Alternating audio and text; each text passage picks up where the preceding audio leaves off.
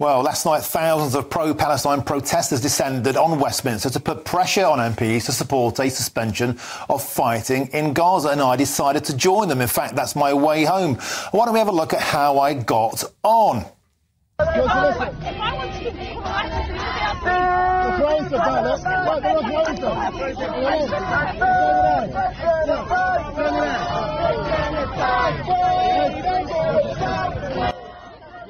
So as you can see, I was egged by a young woman um, who was at the protest, threw two eggs at me. One missed my head, one got me. Before that, I'd been showered with liquid. I hope it was water.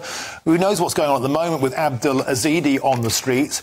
This started when I left work and I saw images being projected onto Big Ben. You can see them on screen there. It said, Stop bombing Gaza. It said, From the river to the sea. Pro Palestine messages being projected onto Big Ben, the Tower of Westminster. This is a criminal offence. I know this because I know the law. There's the projector. I walked over and it's a small implement. Look, it's no bigger than a small motorcycle battery on a tripod projecting. As you see, I pan over and it's on there and the world was seeing these shameful messages. This isn't allowed. I know that because I've looked into it in the past. A law was passed in 2016 when anti-Brexit messages were routinely being broadcast onto parliamentary buildings.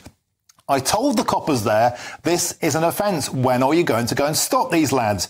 And they said, oh, somebody else is going to deal with it. Offence number one, ignored. Here's what a young man has to say to me. The conversation was fascinating. Blah, blah, blah, blah, Arrest him. blah, blah, blah, There we go, here comes the brains of Britain. blah, blah, blah, He's got a full face mask blah, blah, blah, blah, blah. You would get more sense out of a house brick.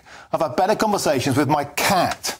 But the fact of the matter is, previous to that, a bloke with a ski mask had walked past. I said to a policeman in attendance, last week, mate, laws were passed. A thousand pound on the spot fine or a month in jail to remove those masks. It's a criminal offence, buttressing laws that were passed, the Public Order Act, in 2015. The policeman did not want to know. The bloke simply walked off. Second offence. Then a bloke walked over the road and showered me with water. Um, as I said, he previously verbally abused me. I can't even show those clips. And then the eggs came. And as you saw, the copper took two strides towards that, that young lady. She didn't even run. She didn't even jog. She walked off. He had no interest whatsoever in nicking her. Two-tier policing on the streets as that mob outside influence what goes on inside Parliament. I think we're losing control of our streets. And I think that's because the police don't give a monkeys.